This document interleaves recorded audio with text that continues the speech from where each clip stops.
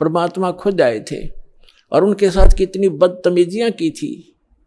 उस परमेश्वर कबीर जी ने किसी को बद दुआ भी नहीं दी, ऐसे बद किए थे, कभी बताया करेंगे, क्योंकि पहले तो आपको ये ज्ञान समझाते हैं, वेद, पुराण, गीता से आपको परिचित कराते हैं, ताकि फिर आपकी बुद्धि ये स्वीकार कर ले कि कबीर इज़ गॉड।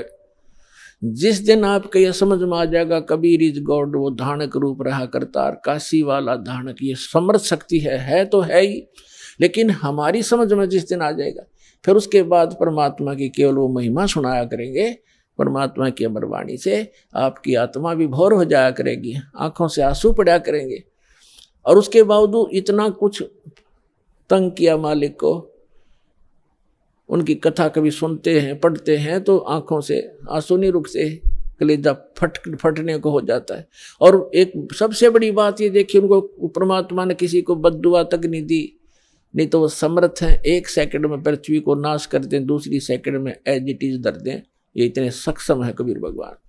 लेकिन उन्होंने उनको बदुआ नहीं दी क्योंकि वो उनको मालूम था कि ये मेरे ही बच्चे हैं। इन्होंने भाँग पी रखी है काल भगवान की। और इन दुष्ट लोगों ने मेरे बच्चों को बेरा विरोधी बना दिया काल के दूतों ने। और वो काल के दूत कौन है? वो गुरु पद पे। वो भी तो परमात्मा के बच्चे हैं। तो पुणात्मा जब आपकी बुद्धि आपका विचार सतर इतना ऊपर उठ जाएगा, तब हम आगे बढ़ पाएँगे।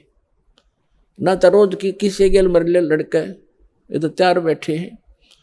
तो हमने अपने मिशन को सफल भी करना है, अपने आप को बचा के भी रखना है और परमात्मा के ज्ञान को उसके बच्चों तक पहुंचाना है। कहते आत्म प्राण उद्धार ही ऐसा धर्म नहीं और जीव का उद्धार करा दे, इससे बड़ा कोई पुण्य नहीं है। देखो पुण्य तो वो भी है जैसे पक्षियों को दाने डाल दिए, कोई गौशाला, धर्मशाला बनवा दी, कोई कुआ खुदवा दिया, हैं, कोई बाग बगीचे लवा दिए, कोई भंडारे कर दिए। वो तो अच्छी बात है, कर दिए। और जैसे आज तो आपने पक्षियों को दाने डाल दिए, और वो पक्षी अगले जन्म में बन गया सुअर, फिर क्या डालेंगे? आज तो हमने उस पशु के लिए गौशाला बनवा दी गऊ है। और अगले जन्म में वो सुअर बन गई, सुअरी बन गई।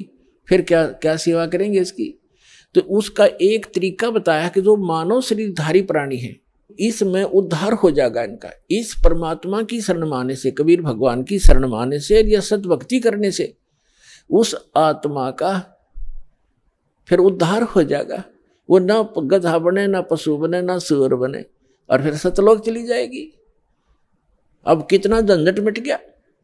अब कहते हैं, सतगुरु के उपदेश का लाया एक विचार। जय सतगुरु मिलते नहीं ही, जाते नरक द्वार नरक द्वार में दूत सब करते खेचा ताण, उनसे कभू ना छूटता। फिर फिरता चारों खान। चार खानी में भ्रमता कभू न लगता पार। सो फेरा सब मिट गया हमारे सतगुरु के उपकार। क्या बताना चाहते हैं कि एक जीव को, एक मानव शरीरधारी प्राणी को और परमात्मा की शरण में ला देने से, ये सतभक्ति प्राप्त करवा देने से, उस लाने वाले को इतना पुण्य होगा जैसे करोड़ गौओं को कसाई से कटने से बचा कर और गाँव में छोड़ देने का होता है। इतना पुण्य उस मार्गदर्शक को होगा जो सतलोक आश्रम बरवाला का राह बता देगा यहाँ का ज्ञान सुना देगा, उस जीव को यहाँ नाम दिला देगा।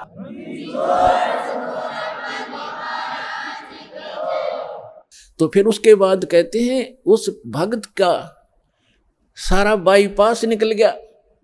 सतगुरु मिल गए, सतगुरु की उपदेश का लाया एक विचार, और जय सतगुरु मिलते नहीं, हम जाते नरक द्वार।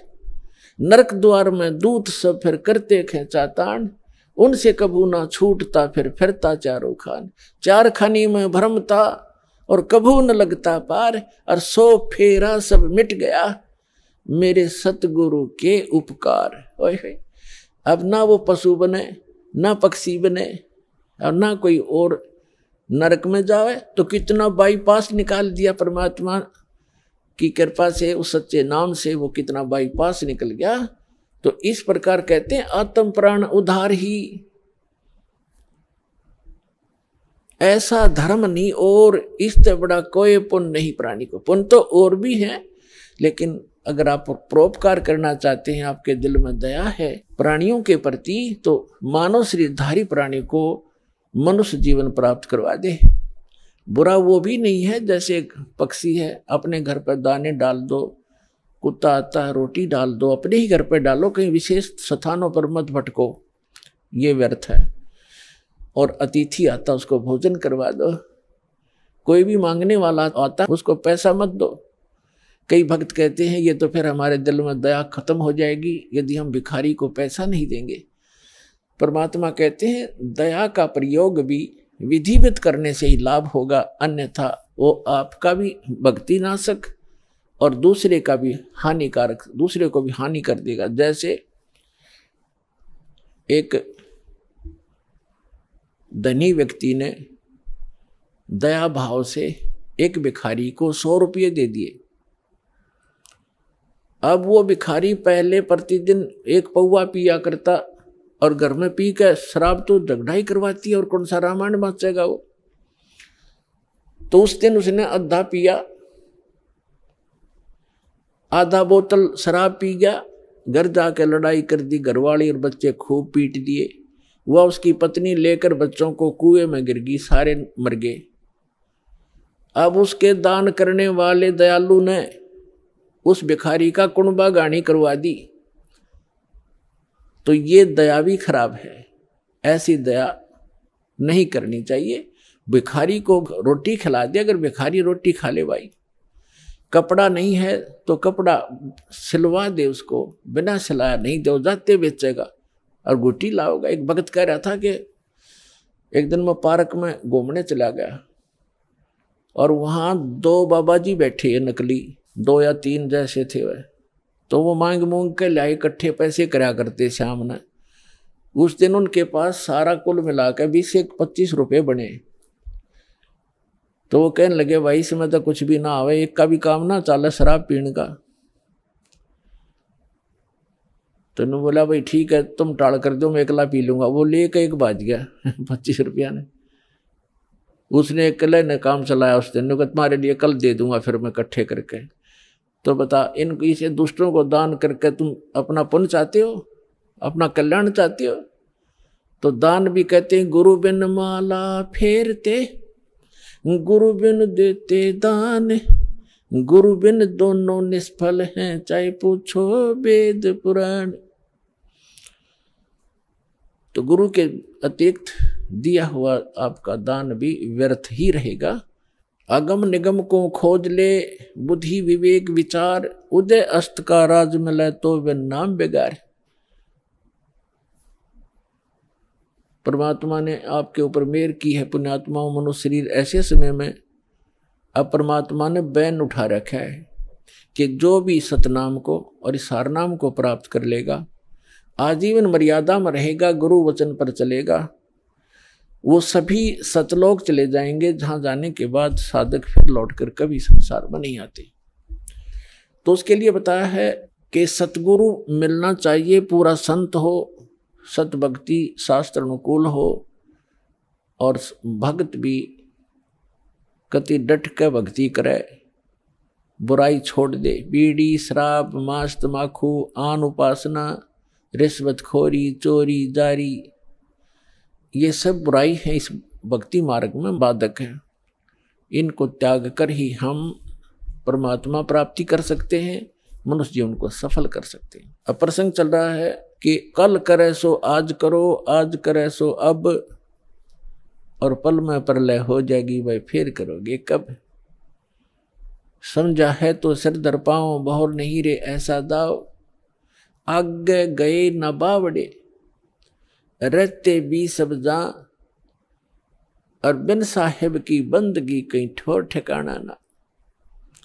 जो पहले चले गए मृत्यु होगी उन, उन्होंने तो आके बताया नहीं हमारे साथ क्या बना? और शेष भी सब चले जाएँगे। ऐसे ही मृत्यु को प्राप्त हो जाएँगे। और परमात्मा ने आके बताया है कि वो जो भक्ति नहीं करते वो नरक में जाते हैं। सतगुरु नहीं मिलते, सच्चा संत नहीं मिलते, सतगुरु नहीं मिलते तो जाते नरक द्वार, जय सतगुरु मिलते नहीं। जाते नरक द्वार है, सतगुरु के उपदेश का लाया एक विचार, और जय सतगुरु मिलते नहीं। जाते नरक द्वार नरक द्वार में दूत सब करते खेचा ताण, उनसे कभू ना छूटता, फिर फिरता चारों खान, चार खानी माने ये अंड्रज, जेरज उद्बुद ये चार प्रकार से जो उत्पत्ति प्राणियों की होती है, ये चौरासी लाख प्रकार के प्राणियों का जो जीवन होते हैं, इनको चार खानी, चार विभागों में बांटा है, चार डिवीज़न बनाई है इनकी। और चार खानी में भ्रमता कबू ना लगता पार, सो फेरा सब मिट गया मेरे सतगुरु के उपकार। अब फिर कहते हैं, ऐसे सतगुरु की क्या महिमा करूँ? सात समुद्र की मसी करूँ? लेखनी करूँ बन राय, धरती का कागज़ करूँ, गुरु गुण लिखो न जाए अपना आत्मा, आप तो बालक हो, आपको तो अपनी बनाई खीर मिल गई ना धूमे माख फूटी, और ना कोई आँच लगी। आपको तो परमात्मा ये बना के धर के गए थे, यो ज्ञान, तत्व ज्ञान। लेकिन इन काल के दूतों का ना तो गीता पढ़ने वालों को गीता समझ में आई, वेद पढ़ने वालों का वेद समझ में आए नहीं, पुराण पढ़ने वालों को पुराण समझ में आई नहीं, और कुरान पढ़ने वालों को कुरान समझ में आई नहीं। बाइबल पढ़ने वालों को बाइबल को का ज्ञान नहीं हुआ। और कबीर परमेश्वर की वाणी पढ़ने वाले इन कबीर पंथियों को परमेश्वर की वाणी का इनको समझ नहीं आया। तो ये परमात्मा आपको बना कर दरगे सारा ज्ञान है। वो कहते हैं गुड बेटर बेस्ट आप वो बेस्ट क्वालिटी की आत्मा हो परमात्मा की, जिनको सतलोक आश्रम बरवाला में ये सतनाम और सारनाम प्राप्त हो रहा है। तो आपके लिए सारा प्रयत्न हो रहा है। अपने आत्मा बैड होता है बैड तो बैड से गुड भी बन सकता है। जैसे चोर चोरी करता था। यो ज्ञान हुआ, चोरी छोड़ दी, भगत बन गया। शराबी, शराब पीता था, शराबी कहलाता था। शराब छोड़ दी, भगत भक्ति करने लग गया, भगत का आया? तो इसी प्रकार हम बैड से गुड बन जाएँगे, गुड से फिर बेटर बनेंगे, फिर बेस्ट बन जाएँगे। तो बेस्ट बनने के बाद हम सतलोक जाएँगे। तो जिनको सतलोक आश्रम बरवाला प्राप्त हुआ, मर्यादा में रहे, सतभक्ति करते रहे तो वो बेस्ट क्वालिटी की हंस आत्मा है भगवान की। और उन पर विशेष रजा है परमात्मा की। परमात्मा हमें आकर ज्ञान देते हैं, रह रह कर समझाने की चेष्टा करते हैं। सात समुद्र की मसी करूँ और लेखनी करूँ बन है किसी भी एक मान ले पेड़ को काट कर रख लो। और उसकी छोटी छोटी टहनी, बड्डे, तने, सबको चीर चीर कर कलम बना कर रख दे। ढेर लाग जाएगा। और परमात्मा कहती उस एक पेड़ की सब कलमों को लिखना शुरू कर दे धरती जितना बड़ा कागज़ हो, सात समुद्रों जैसी इंक हो, स्याही हो। तो कहती ये सब लिखते लिखते कलम घिस जा सात समुद्र की इंक भी समाप्त हो जावे। ऐसे सतगुरु के गुण लिखे नहीं जा सकते। अब क्या लिखोगे? एक कुत्ते का जीवन लो। उस कुत्ते के जीवन में क्या क्या कष्ट उसको होते सारी रात तो भौंकता है। उसकी एक स्वभाव बना रखे। सारी रात भौंक के उसकी आँख कट्ठी हो जा, भूख लगे, ज़ोर की। और सुबह वो क्या करता है? किसी का दरवाज़ा खुलता है गली में। ऐसे देख देख कर सीधा भागता है। किधर? रसोई से महक आ रही होती है उसको। कोई बासी टुकड़े की। या वैसे ताज़ा बना रहे हो तो दाव लगाकर रसोई में घुसने की चेष्टा करता है। अब रसोई में कौन घुसने दे उसके? या तो लठ मारेंगे, या फेंक कर मारेंगे, कोई ना ठहरता है एक घर में गया, उसका लठ लग गया, फिर ट्या ट्या करता हुआ दूसरे में गया। दूसरे में गया, दूसरे में उसका भाग, उसने कोई टूक मिला फिर जूत मिला। और उसमें भी लठ लग गया तो फिर भूख तो उसको लगी है वो फिर कहाँ जाता? है बाहर खेतों, जंगल में। जहाँ लोग फ्रेश होकर आते हैं, वहाँ जा कर के फिर वो गोबर खाता है। और पहले वो मनुष्य जीवन में अपलातून बना फिर था कहे से भी ना समझ में आवा कि ये दुख हो जाएगा आपके जीवन को।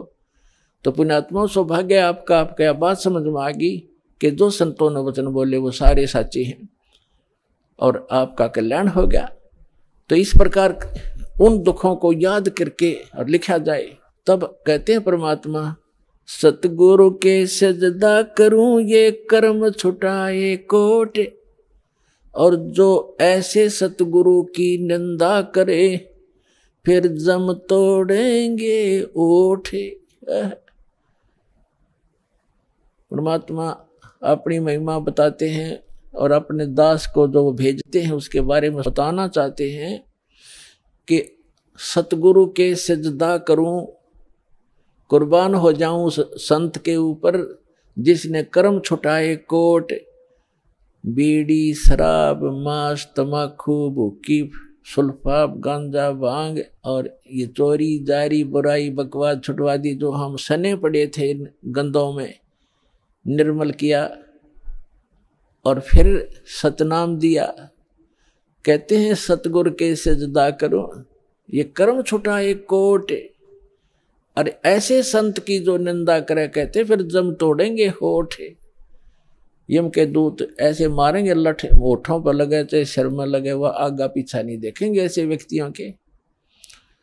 तो यहाँ परमात्मा कहते हैं, गुरु मानुष कर जानते ऐसे संत को। कहते हैं, मानुष मत गिरना वैसे तो पुण्यात्माओं, भगवान तो भगवान ही होता है। और वो भगवान, वो परमात्मा स्वयं भी आते हैं एज ए गुरु एक लीला करने के लिए। और जब वो स्वयं आए थे, उसमें हम यही मार खा गए थे। ना चौंसठ लाख से सोना एक गरीब आदमी का। एक झोपड़ी में बैठ कर कपड़ा बुनने वाले व्यक्ति के चौसठ लाख सेस हो जाना। ये एक अजूबा है, जैसे हमारी बुद्धि काम करती होता है। लेकिन उस समय परमात्मा जिसको भी नाम देते थे, आशीर्वाद देते थे, उनके दुख दूर हो जाते थे, भूत भाग जाते थे। कहते हैं, सतगुरु दो चाव सो कर ही, चौदह कोट दूत जम डर ही, ऊत भूत जम त्रास निवारे, और चित्रगुप्त के कागज़ पाड़े। ये समर्थ कबीर भगवान है। ये आपके ऊत भूत किसी प्रकार का भी आपके ऊपर तीन ताप का दुख हो, प्रेत बाधा हो पित्र बाधा है, या कोई जिंद बाधा है अब प्रधानमंत्री के सामने फिर चोर कैसे रुकेंगे? उसके साथ तो बहुत घने बॉडीगार्ड होते हैं। तो जो भक्ति ना करके शरीर छोड़ के, वो भगवान के चोर हैं। जिन हर की चोरी करी और गए राम गुण भूल, ते बिदना बागुल किए रहे उर्द मुख चोर। तो ये परमात्मा ऊत भूत जमतरास निवार है। यम के दूत भी निकट नहीं आ सकते। कहते, सतगुर सरना आए के और धर्मराज डर कैसा? धर्मराज कहते, ये नौकर हैं यम के दूत जो आकर सताते हैं, चाहे प्रधानमंत्री हो मृत्यु के बाद बक्कल तार देंगे, पकड़ के ले जाएँगे टीटीवी, गले से पकड़ लेते हैं, बाजू पकड़ लेते हैं, घसीट कर ले जाते हैं, जिसके पास भक्ति, धन नहीं, उससे यम के दूत नहीं डरते। और समर्थ साथ नहीं है तो कबीर परमात्मा, ये समर्थ भगवान है अनंत कोट ब्रह्मांड के स्वामी हैं। तो यह बताते हैं सतगुरु की शरण में आकर फिर धर्मराज का भी डर नहीं यम के दूत की तो बातें छोड़ो तुम तो पुणात्मा उस झोपड़ी में बैठे व्यक्ति का और कपड़ा बुनने वाला और उसके चौसठ लाख से सो जाना। और हमारी समझ में नहीं आया कि ये भगवान है। गले नहीं उतरी के यू भगवान हो सकता है। और भगवान सिंगाड़ा होया करे, जिसका सींग शांग लग रहे हो या बंदूक बंदाख ले रखी हो। अरे जो दुख आप पर आपत्ति आई और दूर कर दी मालिक ने और ऐसी भक्ति दी, आपका सारा सुख दे दिया।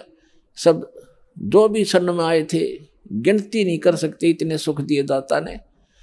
और लेकिन उन सिरफरों के बकाए हुए ये कह दिया करते न यो तो वैसे सिद्ध पुरुष है, कोई सिद्धि शादी जानता है, ये भगवान थोड़ा ही हो सकता है। हम मान्य करते, भगवान श्री राम और श्री कृष्ण, जिसके हाथ में तीर, सुदर्शन चक्कर और हनुमान जी के पास गदा और माता ले आठों हाथों में हथियार है तो हम इसे ईशान भगवान मानना थे। या बुद्धि पर पत्थर पड़ रहे थे, इसी कारण से हम फेल रहे। तो हम उसी समय इसलिए मार खा गए कि हमने भगवान को भगवान नहीं माना।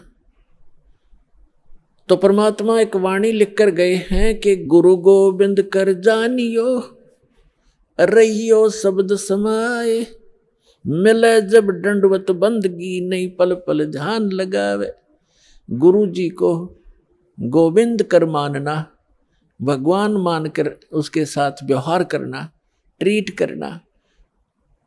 गुरु गोविंद कर जानियो और चलियो आज्ञा माँ।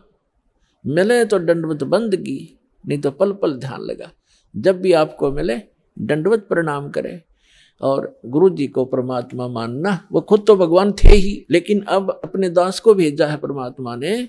तो इसलिए कि आपका जो भाव है वो बना रहेगा। जैसे गणित के अंदर एक प्रश्न आता था, ब्याज का, ऋण का तो उसमें मूलधन ज्ञात करना होता था। मूलधन तो होता था वो करोड़ों और अरबों रुपए का। उस करोड़ों और अरबों रुपए के मूलधन को प्राप्त करने के लिए मानना पड़ता है, मान लीजिए मूलधन सौ रुपये वो सौ रुपये मूलधन नहीं है, लेकिन वो सपोज़ करना पड़ेगा उस प्रॉब्लम को सोल्व करने के लिए। तो ये समझ लेना पुण्यात्माओं, परमात्मा की वाणी है कि गुरु गोविंद कर जानियो और रहियो आज्ञा माई, मिले तो दंडवत बंदगी नहीं पल पल ध्यान लगाए। अब जैसे आप यहाँ से जाओगे, शरीर छोड़ के, ये तो छुट्टेगा आपको मालूम है सबको। हम चाहते तो नहीं है कभी मृत्यु हो, लेकिन या तो होगी। होगी वो मालिक के आधार पे है। अब अब तो आप भक्त हो गए आपकी मृत्यु तो भगवान कबीर साहब के हाथ में आप कहोगे तब होगी कई बार कह लोगे जब होगी अब काल नहीं मार सकता आपको, अकाल मृत्यु नहीं मर सकते आप, अगर नियम ठीक रखोगे।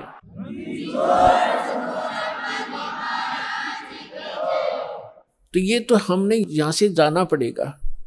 जब आप यहाँ शरीर छोड़कर जाओगे तो ऊपर जाकर के जहाँ भी आप देखोगे ये दास के रूप में वो कबीर परमेश्वर आपको खड़े दिखाई देंगे।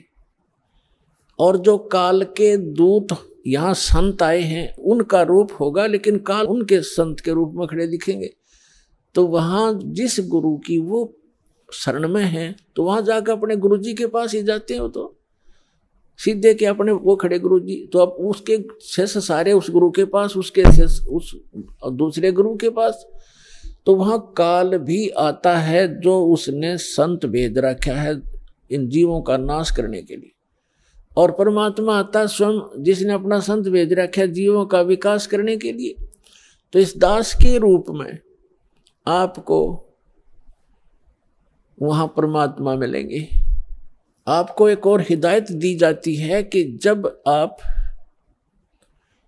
गुरु जी के पास जाते हो, प्रणाम करते हो तो उसमें एक अभ्यास बनाओ कि सतनाम का सुमन अवश्य करें। प्रथम नाम मिला है तो प्रथम का अवश्य करें। जैसे प्रणाम करते करते भी आप एक सांस का सेवन आसानी से कर सकते हो। और उससे क्या होगा? जैसे यहाँ तो आपका अभ्यास बना रहेगा, भक्ति तो करनी करनी है। तो उससे क्या होगा? जैसे आप वहाँ जाओगे, एक तिरकुटी, एक इंटरनेशनल एयरपोर्ट समझ लो, तिरकुटी। जब वहाँ पहुँचोगे तो वहाँ आपको परमात्मा मिलेंगे इस दास के रूप में। और वहाँ काल भी धोखा देने के लिए इस दास का रूप बना सकता है। तो उसमें आप जी ने सिमरण करना है सतनाम का, क्योंकि वहाँ जाएगा तो सतनाम ही होगा आपके पास। सारनाम तो होगा ही होगा, सतनाम भी होगा। तो सतनाम का और सारनाम का जाप करना है। तो सतनाम का जाप करने मात्र से। और प्रथम मंत्र भी अगर प्राप्त है, इसमें प्रथम और लास्ट दो मंत्र हैं, इस सात मंत्रों में। तो ये दोनों मंत्र भी गजब के मंत्र हैं। इनका भी जाप करने से क्या होगा? यदि सामने काल परमात्मा की बजाय स्वयं आकर के दास का रूप बनाकर खड़ा हो जाएगा, इस सिमरण से उसका तुरंत चेहरा बदल जाएगा, उसके ऊपर का आवरण हट जाएगा, उसकी वास्तविकता वो भूडी सकल दिखाई देगी। फिर आप अपने आप दूर हो जाओगे। फिर इधर उधर देखोगे। अब थोड़ा सा एक प्रश्न सुनाते हैं आपको, क्योंकि सत्संग के अंदर बहुत से हिदायत देनी पड़ती है। तो ये सुमन करने से भी अगर शकल नहीं बदलती है तो आपके ओरिजिनल गुरुजी और ओरिजिनल गॉड है। एक समय एक चंद्र विजय नाम का राजा था, उसकी इंद्रमती नाम की एक रानी थी। और वो बहुत भगतनी थी, भगवान की पिछले जन्म से, पिछले पुण्य से ही अच्छी आत्माएँ राजा बनती हैं, रानी बनती हैं, और इतना सुख होकर के भी जो परमात्मा की तरफ़ में भगवान की भक्ति में लगे होते हैं, वो पुण्यात्मा विशेष होती है। वो माई जो है, उसने एक गुरु बना रखा था। उस गुरु जी ने बता रखा था कि भगवान विष्णु, भगवान शिव की भक्ति करनी चाहिए, श्री राम की भक्ति करनी चाहिए, अड़सठ तीर्थों पर जाना चाहिए, अड़सठ तीर्थ करना चाहिए। एकादशी का व्रत रखना चाहिए। अब जैसे एक नियम है, कहते हैं, धन चावे तो दान कर और मोक्ष चावे भज राम तो हमने यहाँ इस काल के लोक में रहना है तो धन भी चाहिएगा और राम भी प्राप्त करना है। तो हमने दान भी करना है और सच्चा नाम भी जपना है। अब उसके गुरुजी ने बता रखा था कि बेटी, पिछले जन्म में तेने बहुत पुण्य कर रखे हैं, घने धर्म कर रखा है, जिस कारण से तू रानी बन गई। आगे ऐसी ही अच्छा जीवन प्राप्ति के लिए आप साधु संतों को भोजन कराया कर बेटा। वैसे तो आए अतिथि को भी भोजन करा दे, उसका भी पुण्य है, लेकिन भगत संत को भोजन कराने का न्यारा फल मिलता है। जैसे आपके पास पशु हैं, भैंस या गाय। एक भैंस या गाय है जो दूध देती है, और अन्य भी पशु हैं जो अभी दूध नहीं दे रहे वो भी अपने पालने ही पड़ते। अब एक तो उस दूध ना दे रहे पशु को जो चारा दिया जाता है, आहार खिलाया जाता है, वो भी हमारा कर्तव्य बनता है। लेकिन जो दूध वाले को जो चारा चराया जाता है, बिनौले खल आदि हम डालते हैं तो वो तुरंत लाभ दे देता है। सुबह अच्छा भोजन कराओगे, चारा चराओगे तो शाम ने दूध गढ़ा पाओगे उसके। तो इस प्रकार संत और भक्त होते हैं दूध वाले, और अन्य जो अतिथि आते हैं, जो भक्त नहीं, भक्त है तो अच्छी बात है, ना तो वो भी एक कर्तव्य जानकर हमने उनको भी अवश्य भोजन कराना चाहिए, और आदर सत्कार, आतिथ्य सत्कार से कराना चाहिए। लेकिन साधु संतों का भोजन कराया हुआ अत्यधिक लाभ देता है। अब साधु संत भक्त, भले ही वो शास्त्र विरुद्ध साधना कर रहे हैं, लेकिन पूर्व जन्म के वो पुण्यकर्मी प्राणी हैं, वही भटक रहे होते हैं। कोई लाल पीड़े कपड़े पहनता है, कोई दाढ़ी बढ़ा लेता है, कोई मूंड मुड़ा लेता है, कोई तिलक लगाता है, जैसा भी उसको मार्गदर्शक मिल गया। क्योंकि उसको परमात्मा चाहिए, चाहे किसी भी भेख बनाने से मिल जाए वो परमात्मा की तरफ़ तड़फ रहा है। ऐसे को व्यक्ति को भोजन कराने से विशेष लाभ होता है, क्योंकि अब तो साधना ठीक है नहीं, लेकिन पूर्व जन्म की कमाई उसकी है और वो भक्त भगवान का विशेष प्यारा होता है। चाहे आज वो किसी की पूजा कर रहा है, लेकिन वो भगवान कबीर साहब का ही बच्चा है। तो इसलिए ये एक नियम है। इस नियम के आधार से उस संत ने अपनी शिष्या इंद्रमती से कहा था कि बेटा, साधु संतों को भोजन कराने से अगले जन्म में भी तू रानी बन जाएगी। अब इनको ज्ञान इतना ही था कि रानी बन जा। रानी कब कितनी बार बनेगी, फिर गदी भी तो बनेगी। वह एक दिन, वो समस्या इनका समझ में नहीं आ रही थी, अकिया भी पड़े गले में। ठीक है, जितना उनको ज्ञान था, उस रानी को ज्ञान उसने दे रखा था। अब वो अपने गुरु जी के बताए मार्ग पर कति दृढ़ थी। अब क्योंकि वो ऐसी पुण्यात्माएँ कबीर साहब के बच्चे हैं परमात्मा कहते हैं, दो दिन मेरी शरण है, ताका हूँ मैं दास और गेल गेल ला गया फिर साथ साथ फिरता रहता हूँ जब तक धरती आकाश आपको बहुत बार बताया, क्योंकि ये दातंग मार्ग है पुणात्मा आपने केवल कथाएँ सुनी हैं, ये राम कृष्ण की, सुदामा और कृष्ण की, बेलनी और राम की राम रावण की लड़ाई, महाभारत का युद्ध, ये भी एक इतिहास है, लेकिन ये अध्यात्म मार्ग नहीं था। अब ये है संपूर्ण अध्यात्म मार्ग ज्ञान। इसको बहुत प्रकार से समझाना पड़ता है। अब रानी ने जो भी गुरुजी ने बताया था, उस पर दर्द होगी।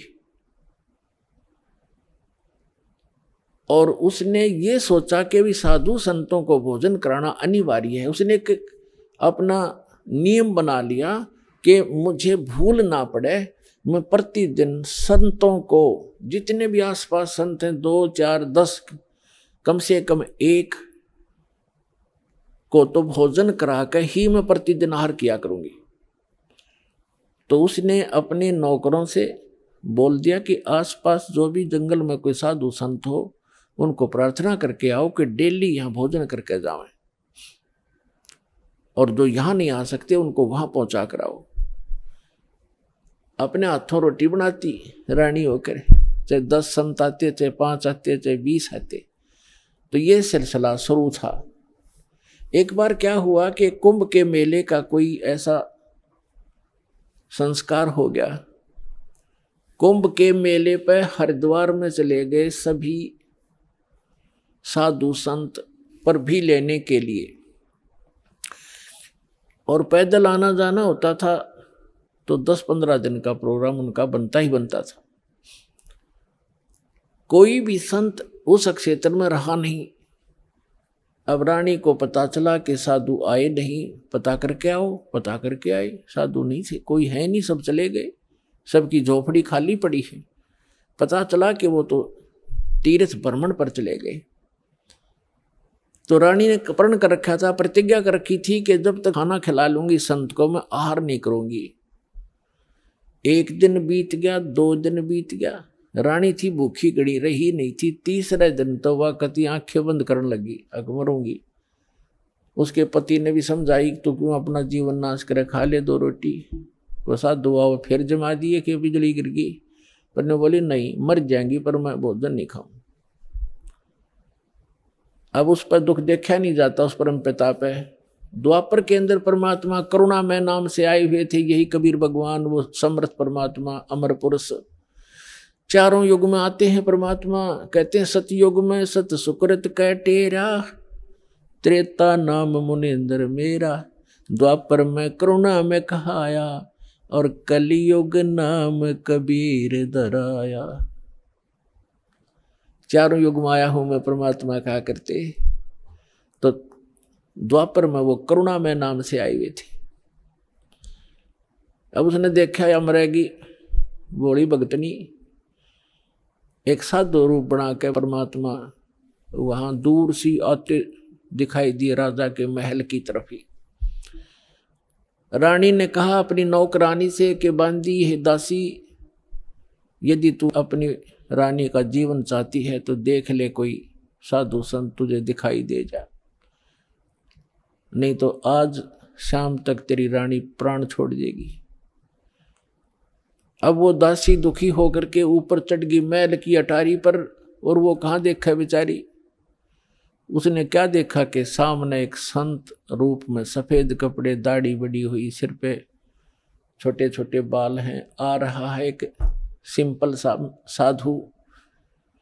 गले में माला टांग रखी दाता ने, थोड़ा ईसा दिखाया जानू महात्मा सा भी जच्चे ना तो हमने, हम महात्मा, उन उनको मानते जिनकी दाढ़ी बढ़ हो, लंबे लंबे बाल हों, तिलकला रखा हो पाँच चार माला डाल रखी हो, बिंदी बैंदी टिक्की ला रखी हो तो परमात्मा ने इसीलिए वो थोड़ा सा वेशभूषा सी बना रखी थी। वो नौकरानी स्पीड तक नीचे आई और रानी से कहा कि एक महात्मा सा नज़र आवा है, कपड़े तो लाल हैं नहीं, पर सकल साधु जैसी लगती है। कहो तो लाऊं बुला के, अकेला बहन ले आ, जैसा भी हो।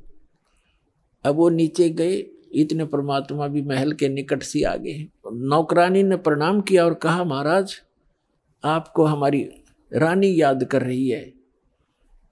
परमात्मा ने पूछा, आप कौन हो? कि मैं नौकरानी हूँ। तो परमात्मा ने कहा, बेटा, रानी को यदि गर्ज है संत की तो यहीं आ जा गली में। हम किसी के घर नहीं जाया करते। और हम घर जाओ और उसका पति कह दे, तू आया किस लिए यहाँ? उसने गर्ज है तो यहाँ आ जाएगी।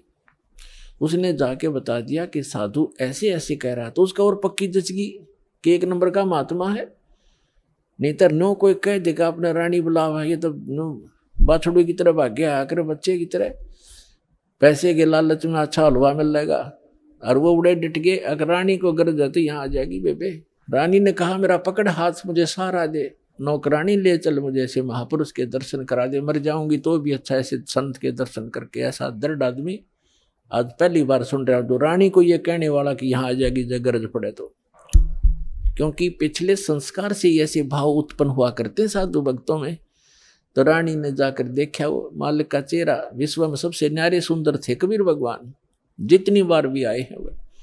और चरणों में मत्था टेक्या और कहा, महाराज, आप भोजन कीजिए, आहार कीजिए। परमात्मा बोले, चल बेटा, आहार कर लेते हैं। बैठ के जाकर एक आसन लगा दिया।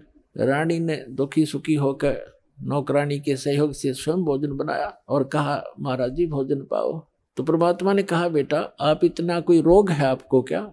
इतनी अक्सीन कैसे होगी? तो उसने सारी कहानी बताई कि मैं प्रतिदिन एक साधु को भोजन करा के भोजन करती थी। संत रहे नहीं क्योंकि वो कुंभ के मेले में स्नान के लिए चले गए। आज तीसरा दिन आ गया, महाराज जी, आप नहाते ताज में मर जाती। जब भोजन बना के परमात्मा के पास रखा तो कहा परमात्मा ने कि बेटी मेरा शरीर भोजन करने का नहीं है। मैं तो खाऊं या ना खाऊं सदा एक रस रहता हूँ। तो रानी बोली, जी, ठीक है, भोजन नहीं खाओगे तो मैं भी नहीं खाऊँगी, मरना मंजूर है मुझे। मरना ही मुझे उचित है, मैं अपना, जो है ना प्रतिज्ञा नहीं भंग कर सकती तब परमात्मा ने कहा कि ला बेटा, कहते समर्थ इसी को कहते हैं, जो चाव सो करते मालिक ने भोजन करा। फिर उससे पूछा, बेटा, ये जो आपको ये हठ किसने बताया? रानी ने कहा कि मैंने अब गुरुजी बना रखे हैं, हमारे गुरु बहुत अच्छे हैं। परमात्मा ने पूछा, क्या साधना करते हो कि श्री विष्णु जी की, श्री शंकर भगवान की, शेरा वाली माता की? जो भी वो करती थी, एकादशी का व्रत करती हूँ, तीर्थों पर भी जाती हूँ, ऐसे करती हूँ। फिर परमात्मा ने अपना ज्ञान समझाना शुरू किया। लेकिन वो रानी जो थी वो ज़्यादा भावुक होते हैं श्रद्धालु। जैसे ये दास प्रारंभ में इन अन्य पंथों वालों को कहा करता था, जो भी आ जाता था संपर्क में, सत्संग सुनने, कि भाई आपका नाम गलत आपका गुरु पूरा नहीं है, आपकी साधना गलत है। ये राधा स्वामी धन धन सतगुरु, जय गुरुदेव वाले और ये तो सारे निरंकारी वाले, ये आते थे, जो सुनकर सत्संग है जब ये दास उनको यह सच्चाई बताता तो बेदक जाते उठ कर चले जाते कि ना आप तो निंदा करते हो, किसी संत की निंदा नहीं करनी चाहिए। पाप लगता है। अरे भले आदमियों निंदा क्या की मैंने? तेरे गुरु को चोर बताया ना, डाकू ठग बताया नहीं, उसके ज्ञान की त्रुटि बताई है, ज्ञान में कमी है आपके गुरु जी में। संत तो अच्छे ही होते, लेकिन ना समझ में आई। ये श्रद्धालु होते हैं कि ना गुरु जी के बारे में कुछ नहीं सुन सकता। और अब आन लग रहे, रोते हुए लुट पिट के रोआ बरीत रहे, नाश हो गया। तीस साल हो गए, राधा स्वामी में जीवन खो दिया, सब कुछ लुट पिट गया, इकलौता पुत्र था, वो भी मर गया। बता अब टिंडे ले लो, राधा स्वामी में धन धन सतगुरु में। साची के छो माँ में गुस्सा होते थे, और यहाँ का इतिहास देख लो, सन उन्नीस सौ चौरानवे से जो जुड़े हैं, आज उनके ठाठ देख लो, और उनके घर में कोई दुर्घटना हुई तो आप पूछ कर देख लो। लाखों की संख्या में भक्त हैं। तो भगवान की शरण न्यारी होती है।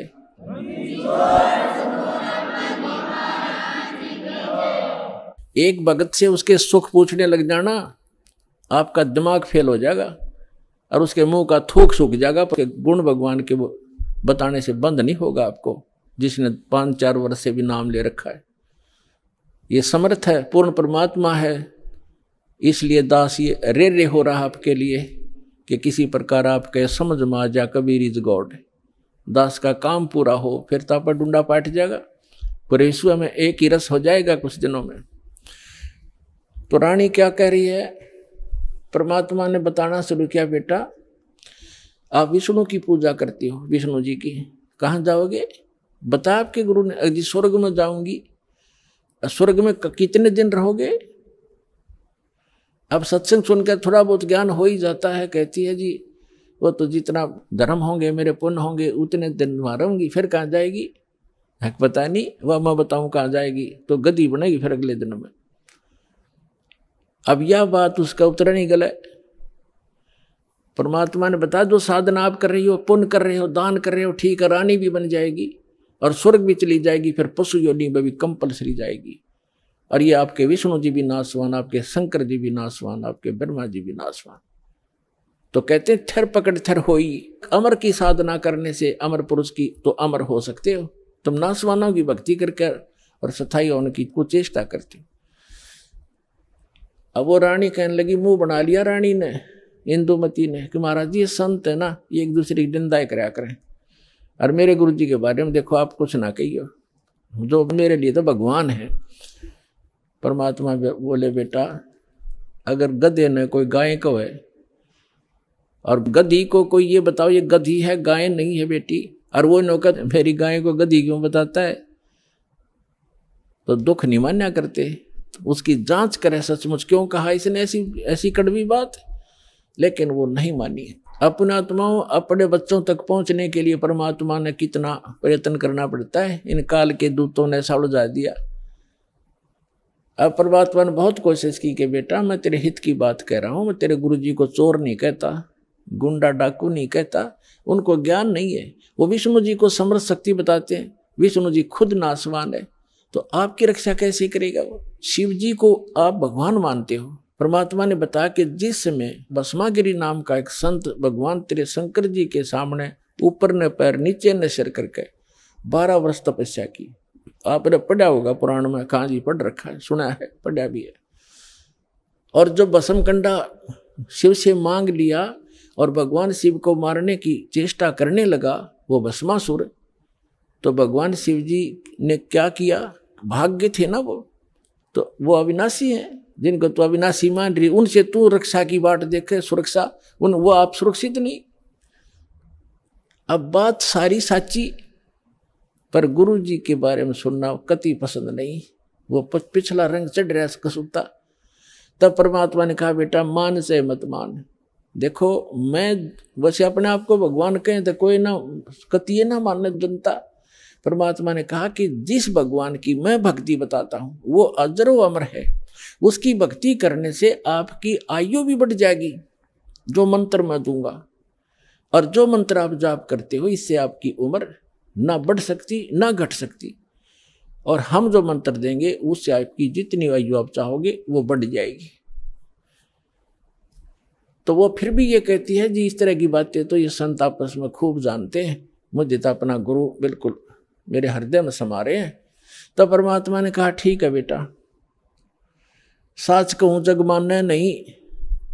और झूठ कही ना जाई हो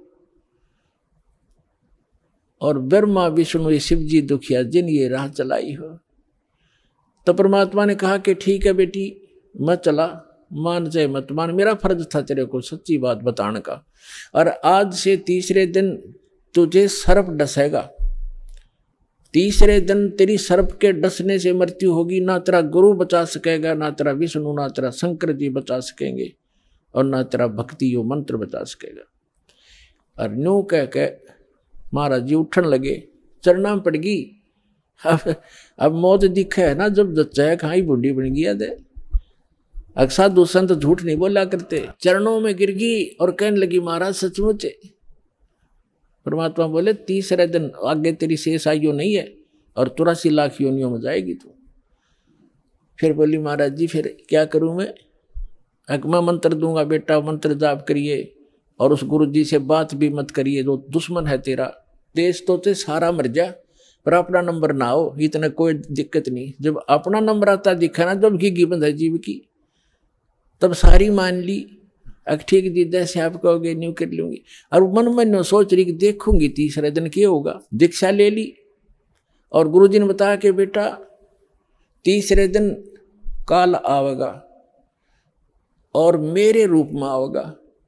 अरे एक ध्यान रखना, जो मैंने आपको मंत्र दिया प्रथम, जब वो निकट आवे तो पहले आप इस मंत्र का जाप करके और फिर प्रणाम करना।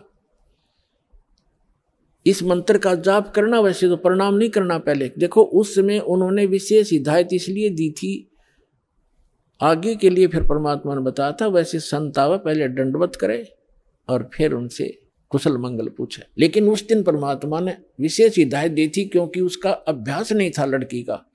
इसलिए कहा कि जब मैं आऊँ, यानी मेरे रूप में काल आवेगा, और तो भावुक होकर के बगैर मंत्र जाप किए चरण मत छूना। पहले मंत्र जाप करना और फिर चरण छूना। अब रानी ने किसी को बताया नहीं ने सोचा, क्या पता सच्ची है कि झूठी है? ठीक अगले दिन दिन के एक बजे के आसपास परमात्मा के रूप में काल गया, करुणामय के रूप में, और कहा, इंद्रमती इंद्रमती कहाँ है बेटा? अब इंद्रमती ने देखा गुरु जी आगे गुरु जी आगे, लेकिन वह बात उसके हृदय में गढ़ रही थी। गुरु जी ने ये भी बात कही थी तो उन्होंने प्रथम मंत्र सिमरण कर दिया। वो सारा जो यो कंप्लीट कोर्स यही है, वो जो आपको दे रखा। उसके प्रथम मंत्र के प्रथम नाम से ही एकदम उसका स्वरूप बदल गया। और ऐसी विकराल चेहरा लंबे दांत और मोटी मोटी आँख, बेहुदी सी विकराल सी शरीर दिखाई दिया। तब उस काल ने देखा कि तेरा तो इसने आवरण तार दिया। न बोला, अब तब बचगी तू, तेरे पास मंत्र ज़बरदस्त है, तुझे फिर देखूँगा। अब रानी का जान बची लाखों पाए, और गुरु जी के सौ सौ शुक्र मनाए। अपने नौकरों को बताती है, काल आया था, आज मेरी मृत्यु होनी थी। मैंने जो गुरु जी बनाए हैं, मेरी उम्र बढ़ा दी। अब ना तो राजा को बताई उसके दरबार में जाके। राजा ने बोला, तू पड़ी रह। काल आ जाता तेने छोड़ जाता। ये तुमने ऐसे कहती रहती हो। कोई कुछ कह दे, उसकी बातों में आ जाती हो। तो उसके साथी भी, तेरी बेचारी के साथ। वो राजा की के माने वो आ गई वापस, शुक्र मनाया रख। आगी तो तेरी टल गई मृत्यु छाटते आके लेट गई है भगवान। हे परमात्मा, दया करिए आपने इसे गुरु मिला ऐसा मंत्र दिया और मेरा जीवन रक्षा होगी। अब वह लेट गई बेड पे, कति खुशी बना के, इतने में काल सर्प बन के आ गया। सर्प बन के आया और रानी के डस दिया डसते उसकी आँख खुली। और फिर वो ऐसे ऐसे जाता देखा उसने शोर बचाया बागियो डस ली सरप ने डस ली सरप ने डस ली। नौकर नौकरानियाँ आए, बाजे लठले वो लंबा महल था राजा का वो जो जाता दिखा सबने मोरी में से निकल गया। रानी अचेत होगी, मृत्यु को प्राप्त होगी। राजा के घर तक सब प्रकार के वैद्य उपस्थित रहते थे। डॉक्टर बुलाए वैद बुलाए, गर्डू बुलाए, सारा कुछ कर लिया और सबने मृत घोषित कर दी। तब परमात्मा आ गए तो नौकर नौकरानियाँ कहने लगी जिन देखे थे भगवान उस दिन। वो नौकरानियाँ कहने लगी, महाराज जी, आपकी शिष्या को सर्प ने डस दिया, तब सर्प से मृत्यु होगी। हाहाकार माच गई। तो परमात्मा ने एक बहाना सा करा, मंत्र शब्द बुदाया और कहा, उठ बेटी, एक सेकंड में रानी खड़ी होगी। बोलो, सतगुरुदेव।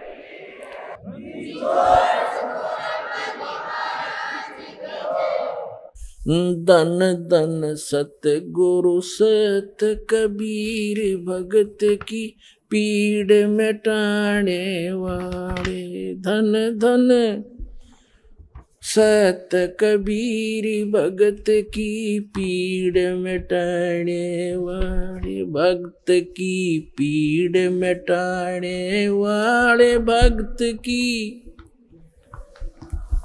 वाले धन धन सत गुरु सत कबीर भक्त की। रहे नल नील यतन कर हार, तब सतगुरु से करी पुकार। रहे नल नील यतन कर हार, तब सतगुरु से करी पुकार। जा सतरे खाल की अपार सिंधु पे सिलात वाली। जा सतरे खाल की अपार सिंधु पे सिलात वाले। धन धन सत गुरु सत कबीर भक्त की पीड़ मिटाने वाले भक्त की, पीड़ मिटाने वाले भक्त की। धन धन, सतगुरु सत कबीर भक्त की। डसी सरप ने जब जा पुकारी, इंद्रमती अकुलाए डसी सर्प ने जब जा पुकारी इंद्रमती उकलो। आपने तुरंत करी सहाय बरूली। मंत्र सुनाने वाले आपने तुरंत करी सहाय बरूली। मंत्र सुनाने वाले धन धन सतगुरु सत कबीर। भक्त की पीड़ मिटाने वाले, भक्त की पीर मिटाने वाले दन दन सतगुरु सत कबीर भक्त की।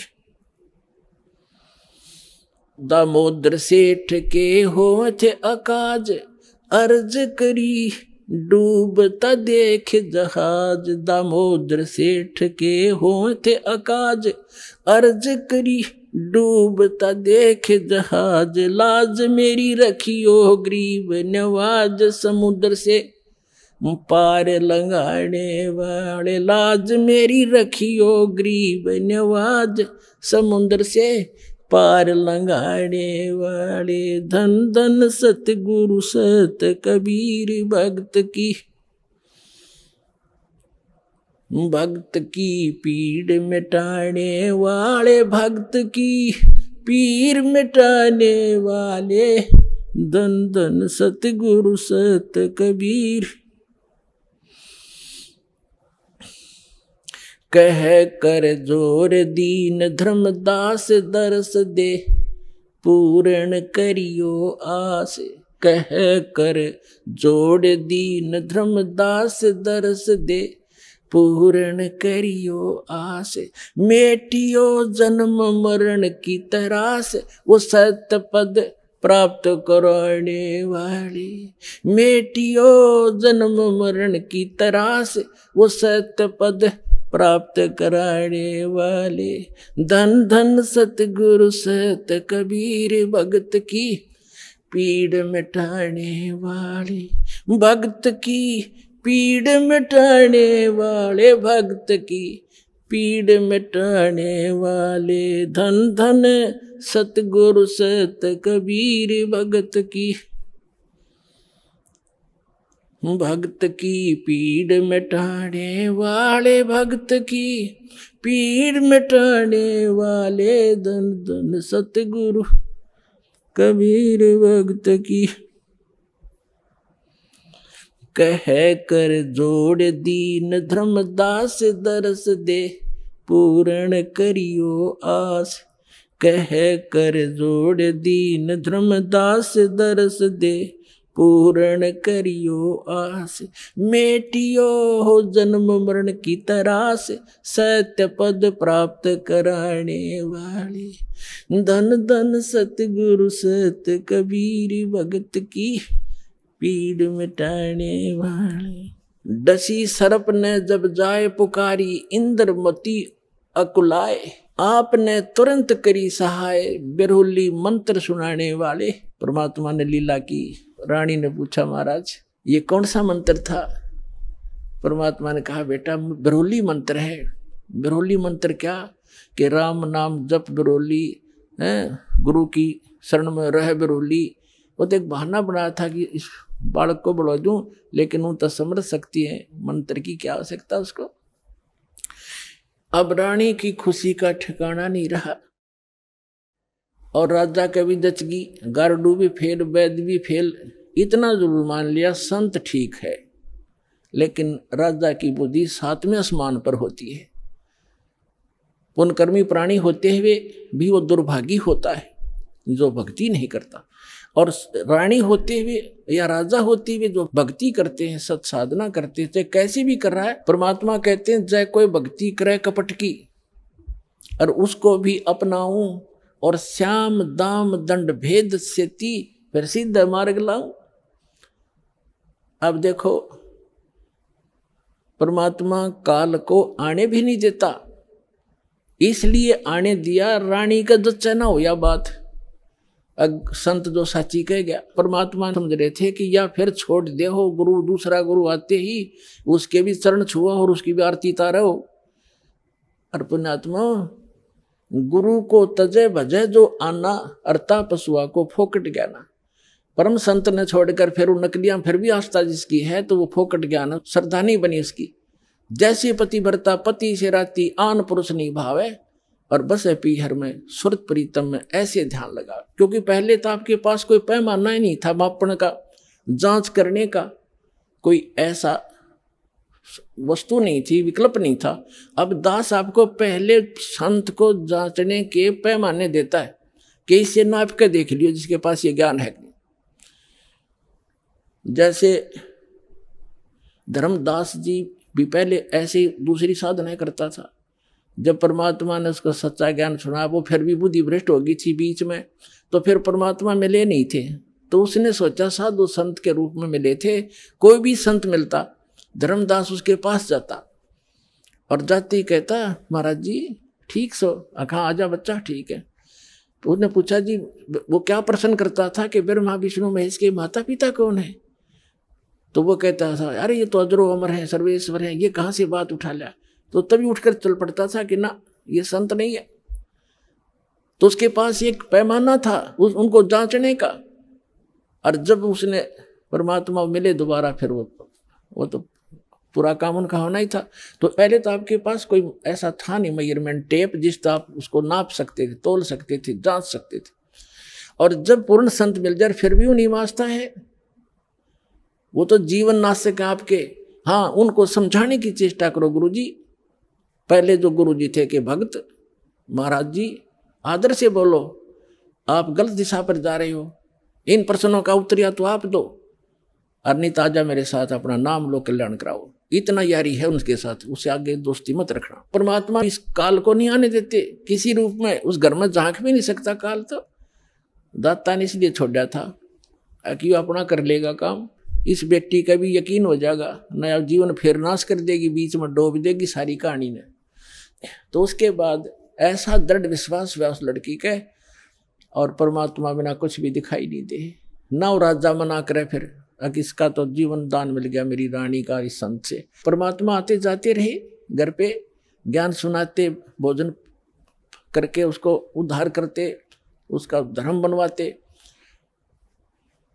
तो एक दिन रानी ने कहा कि महाराज, मेरे पति को भी समझा दो।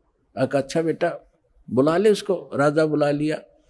परमात्मा लागे समझाने के भाई, परमात्मा की भक्ति करनी चाहिए। और ये राजपाट सदा नहीं रहता, एक दिन मृत्यु भी होएगी, परमात्मा की भक्ति करते रहना। तो राजा क्या कहता है, महाराज जी देखो, मैंने तो पार्टी अटेंड करनी पड़ती है, क्यों घुटी छुट्टी लानी पड़ती है? और मेरे पास समय नहीं है, लेकिन मैं आपकी चेली न मना नहीं करता, कितना या दान करो और कितना सत्संग करवा लो। मेरे बस की बात नहीं है भक्ति भक्ति करना। परमात्मा ने समझा, देखो, राज भी करो, भक्ति भी करो, भक्ति में क्या लगता है? आप पार्टियों में जाते हो, शराब मत पियो। वैसे तो साधु संत हो जाएँगे, पार्टी स्वाहें को नहीं आपने। फिर भी किसी कारणवश जाना पड़ जाता है तो वहाँ काजू खाओ, किशमिश खा लो, भाई बादाम खा लो, और सेब संतरे खा लो। ये ये शराब डंगा क्यों पियो तो बहुत समझाया अग्नि महाराज जी, मेरे बस की बात भी फिर देखूँगा। कुछ दिन के बाद परमात्मा ने फिर प्रार्थना करी बार बार रह रहकर समझाया, मान्या नहीं। लास्ट में ये कह दिया कि महाराज जी, देख, मुझे ना कहा करो आप। और आपकी चेली ने मैं मना नहीं करता से सारे खजाने लुटा दे। और मैं कति बाधक नहीं बनता इसके बीच मेरे बस की बात नहीं। तो परमात्मा कहते, कबीर पिछले पाप से हरि चर्चा ना सुआवे और कह ऊँगे कह उठ चले ना, और बात चलावे। तुलसी पिछले पाप ते हरि चर्चा ना भावे, जैसे जबर के बेग ते भाई भूख पैदा हो जा। तो जिसके पाप गणे बढ़ जाते हैं उन्हें राम नाम की वो मनुखा दाख भी कड़वी लगती है, जैसे जबरग्रस्त रोगी को मनुखा दाख, सेब, संतरे, रोटी भी कड़वी लगती है। वो मीठी वस्तु भी उसको कड़वी महसूस होती है। बुखार ने उसके शरीर की व्यवस्था इतनी बिगाड़ दी। इसी प्रकार पाप कर्मों से ग्रस्त प्राणी इस परमात्मा की मनुखा दाग सेब को खा नहीं सकता। उसके लिए तरीका है जैसे कुनीन होती है, मलेरिया का नाश करने के लिए। और कुनीन भी कड़वी, बुखार को सेट करने के लिए जिससे कड़वी वस्तु लग, उसके लिए कड़वा ही खाना पड़ेगा। न चाहते हुए फांकी मारनी पड़ेगी और उस कड़वी दवाई खाने से रोग नाश हो जाएगा, फिर वो मीठी लगने लग जाएँगी। इसी प्रकार ये सत साधना भगवान की कथा। ना चाहते हुए सुनते रहना चाहिए, फिर वो रोग नाश हो जाएगा। कुछ पाप ऐसे होते हैं जो परमात्मा के सच्ची ज्ञान के सच्चे वचन से परम संत के वचन से, मुख से बोले हुए वचन से वो शीघ्र नाश हो जाते हैं और फिर वो भूख जागृत हो जाती है भगवान की कथा की। ऐसे बहुत से व्यक्ति हैं शुरू शुरू में वो सुनते भी नहीं थे, अब आज 500 500 किलोमीटर से चलकर और दस में दिन यहाँ आ जाते हैं। अब उनका पाप कर्म का बुखार उतर गया। अब परमात्मा ने कहा था कि बेटी, आज तू चालीस वर्ष की थी जब तेरी डेथ होनी थी। उसने कहा, जी हाँ बिल्कुल ठीक चालीस वर्ष की थी, जिस दिन मेरे को सांप लड़ा सर्प सांप और अब मैं चाहूँगा, जब मरेगी तू काल नहीं मार सकता तुझे। अब वो रानी होगी अस्सी, बयासी वर्ष की। वो एक दो बार उसने खुद भी कहा, महाराज, अब मुझे तो भेज दो सतलोक। सारा काम हो लिया। परमात्मा बोले, बेटी, देख ले, कोई पोता पोती में आस्था तो नहीं है। त्रिकार कोठी में, घोड़े कोठी में दैया आस्था रहेगी ना ऊपर। यहाँ तो तू फॉर्मलिटी करेगी और ऊपर जाकर तो कति तेरी बार दिखाई देगी, शीशे की तरह। फिर वो वापस पटकनी पड़ेगी मैंने। अगना जी आप तो अंतर्यामी हो, मेरे कोई मन में नहीं है। मैं तो कति फारे गोरी हूँ अपने ज्ञान ऐसा दे दिया। मृत्यु तो होनी ही है, चलते हाथ पाँव हो जाओ और अच्छा है। तो जब वो अस्सी बयासी वर्ष की होगी तो परमात्मा ने कहा कि ले चल इंद्रमती, सतलोक चलते चलो जी, अब परमात्मा के लिए आए थे। और किसी को नहीं दिखाई दे रहे थे।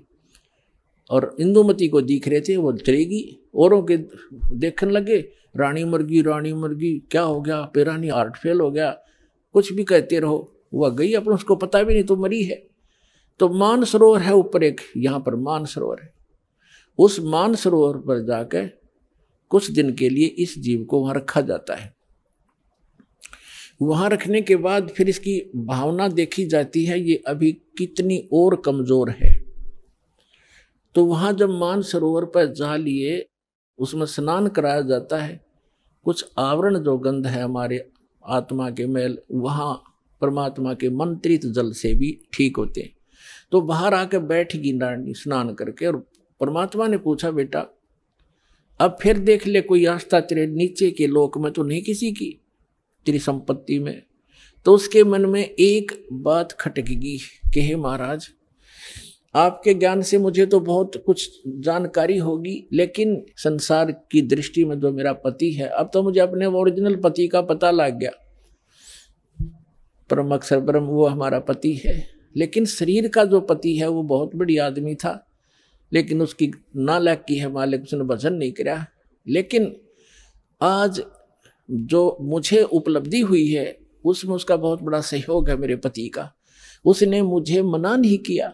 यदि वो मुझे मना करता तो पत्नी तो अपने पति के विवश होती है।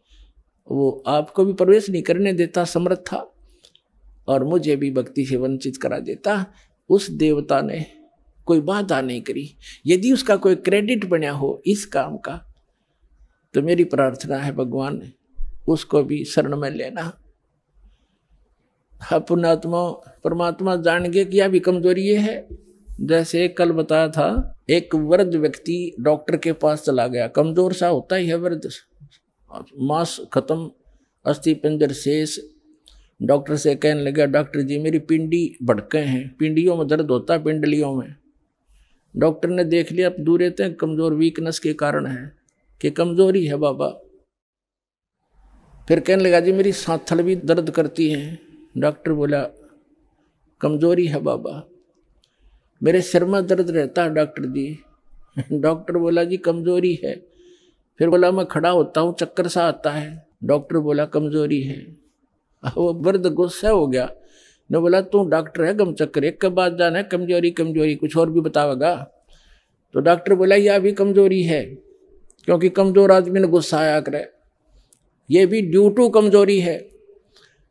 वीकनेस है तो पुणात्मा परमात्मा जानेंगे अज्ञा भी कमज़ोरी है जो या बोल रही है उसके प्रति इसका लगाव शेष है या आप भी डूबेगी तब कहा, बेटा तू यहाँ रुक कुछ दिन। अब राजा नब्बे वर्ष का हो गया था अट्टा कट्टा श्री अच्छे खावे खादू लावे गुटी किसमस बादाम और लाल चेहरा अब ने सोचा था, सौ सवा सौ वर्ष तो जिया ही करें। न खूब। अब राजा आया चौक में आया बाहर से घूम के। नब्बे वर्ष की उम्र होगी थी। और आते ही नीचे उतरा घोड़े से, नौकर आसपास खड़े अंगरक्षक साथ थे बाहर से आए थे। और पलंग तक भी नहीं पहुँचा गद गिरा।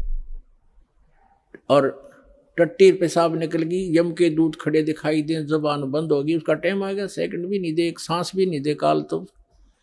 और खिंच खिंच कर सांस आन लग गया। टट्टी पेशाब निकल गई, नू आँखें फट गई। वैद बुद्धों ने अपनी सारी जंतर मंतर कर लिए, सारी दवाई दे दी। फिर वो समझ गए कि अब इसका अंत समय है।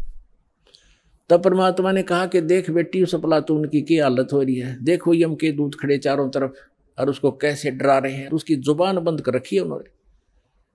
अब ये बोल नहीं पा रहा और धरती तोलता फिरे था, कहे कि नहीं मानने था। तब रानी बोली, देख लो जी, मैं क्या बताऊँ आपने? उसने मेरी मदद बहुत कर रखी है। परमात्मा समझ गए कहा या के कहना चाहो है तो कहने लगा, बेटी, मैं जाता हूँ। तो परमात्मा आकर प्रकट हो गए वहाँ, उनके चौक में। कबीर साहब के आते ही यम के दूत ने गए, एकदम गायब हो गए। राजा हौस में आ गया और उसने सामने परमात्मा खड़े दिखाई दिए, चरणों में पड़ गए और वो यम के दूत आकाश में दिखे। वो नो देखकर कभी भगवान की तरफ़ देखे। परमात्मा बोले, भाई आज तेरा एंड आ गया था। चंद्र विजय, तेरा सांस शेष नहीं था। ने बोला जी, सही बात है। तो परमात्मा बोले, अब क्या चाहिए तुझे? अगर जी मैंने भक्ति दे दो। भक्ति दे दो, भक्ति करूँगा। तो अपने आत्मा अब आँख खुल आदमी की, जब पक्की यकीन हो जाए कहाँ टिकट कटेगी? तब भगवान दिखाई देता है। कहते हैं, दुख में सुमन सब करे, सुख में करे ना कोई। और जय सुख में सुमन कर लिए दुख क्यों होए? तो परमात्मा बोले, दो साल दूँगा तेरे को। और दो वर्ष में जो भक्ति कर लेगा तो ठीक से ना तो फिर तेरी बिरान बैठी हो जाए दे के बच्चों ने राजपाठ और बैठ गया माड़ा लेके।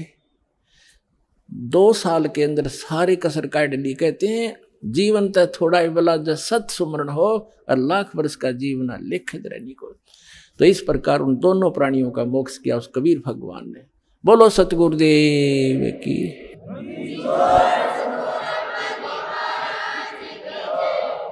तो कबीर साहब कहते हैं भक्ति बीज होवे जो हंसा और तारों ताश के इकोत्तर वंशा। आपकी 101 पीढ़ी पार करेगा, भगवान ये सत्कर मान लियो। लगे रहना आखिरी सांस तक। बोलो, सतगुरुदेव।